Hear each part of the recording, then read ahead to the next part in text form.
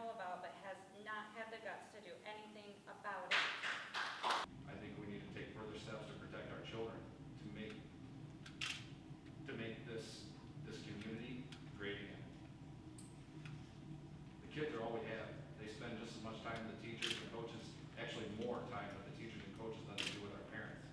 And if this is the example that you want to continue to lead, then my kids are gone, because I won't stand for it.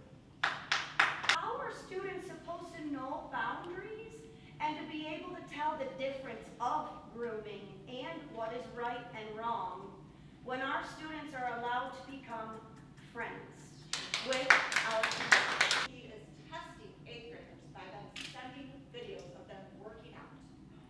That is how he is testing them for weight training or whatever physical ed he was doing.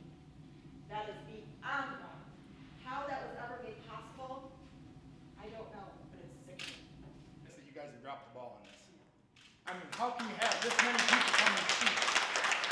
You, I mean, you guys gotta go to sleep at night thinking, man, we, we dropped the ball here. Cause if you don't, everybody here does. They're like, what in the world is going on? I, I work with people that are not in the district and they know what's going on and it's embarrassing. And for this to have gone on as long as it has, you guys dropped the ball, that's all I have.